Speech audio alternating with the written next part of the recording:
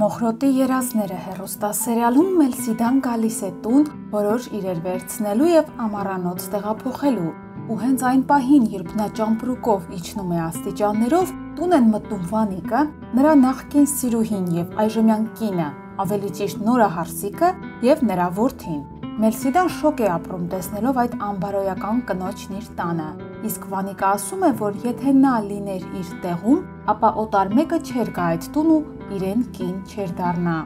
Այսինքն Վանիկի կարծիքով, եթե իր կինը իրենից վիրավորված թողել է ու գնացել է առանձին ապրելու, ապա ինքը պետք է երկու օրից նոր կին բերի տուն ու ապորինի զավակին էլ հետը։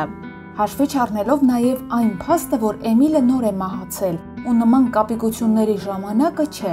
Այսքանից հետո ինչպես պետք է կինը հարգին նման ամուսնում։ Կամ ինչու է Վանիկը մտածում, որ լավ տղամարդ լինելը հենց դրանում է կայանում՝ իրար հետևից կանանց փոխելը։ Այդ ամբարոյական կինն էլ այդքանից հետո, Մելսիդայի վիրավորանքներից հետո այնքան անինքնասերն է, որ մնում է այդ տանը ու պատրաստվում է ապրել, քնել Մելսիդայի ննջասենյակում։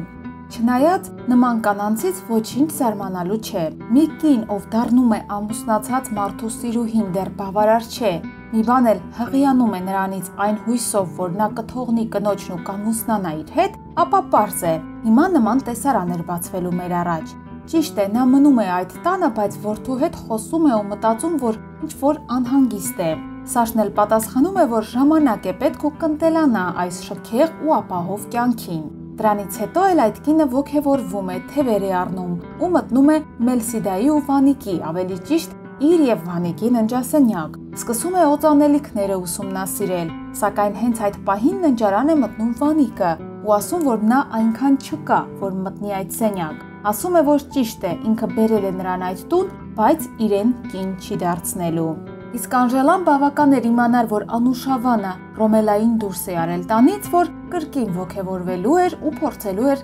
Նատալիային պսակել նրա հետ։ Այն, որ նա Նատայի կարծիքն ու ցանկությունը հաշվի չէր առնում, դա արդեն գիտեինք, բայց որ Անուշավանի ցանկությունը եւս անտեսվելու էր, այդ դա արդեն նորություն էր։ Դեռ Անուշավանը մեծ հիմարություն արեց, որ եկավ ու Անժելային պատմեց իր անձնական կյանքի մանրամասները։ Անժելան ինքն իր ձևով մեկնաբանեց Ռոմելայի քայլերը ու որոշեց, որ հրաշալի առիթ է ստեղծվել Նատալիային ու Անուշավանին ամուսնացնելու համար։ Անուշավանը ասում է, որ նման բան չի կարող տեղի ունենալ, իսկ Անժելա այնուամենայնիվ չի հանգստանում ու շարունակում է իր զառանցանքները։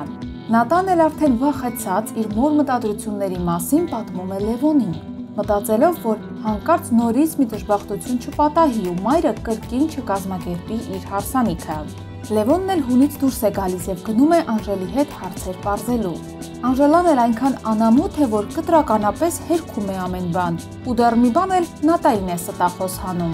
Իսկ Էլան հանդիպում է Անուշավանին ու փորձում օգնել իր ընկերուհուն եւ հաշտեցնել նրանց։ Անուշավանը ասում է, որ իր կինը ամուսնացած լինելով հանդերձ շփվել է ուրիշ տղամարդու հետ, ինչը հարիր չէ Սարատովցի տղային։ Իսկ Էլան պատասխանում է, որ այդ դեպքում ինչու էր նա սիրահետում ու պատրաստվում բռնի ամուսնանալ նշանադրված աղջկա, այսինքն Նատայի հետ։ Հենց այստեղ էլ Անուշավանը հասկանում է իր սխալը եւ հետ է վերադարձնում Ռոմելային ու հաշտվում նրա հետ։ Հարգելի հետևորդներ, արդյոք Վանիկը վերջնական կամուսնանա այդ ամբարոյական կնոջ հետ ու նրան իրեն կին կդարձնի։ Գրեք մեկնաբանություն։